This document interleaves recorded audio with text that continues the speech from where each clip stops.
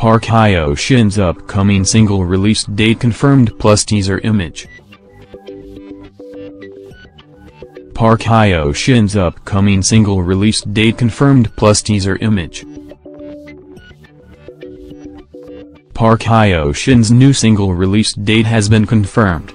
Just a day ago, it was confirmed by Glove Entertainment that the artist will be releasing a winter single called Sound of Winter. Now, the official release date has been set, accompanied by a new teaser image. Park Hyo Shin's Sound of Winter will be available through various music sites on January 1 at 12.01 am KST. Are you excited for the upcoming single?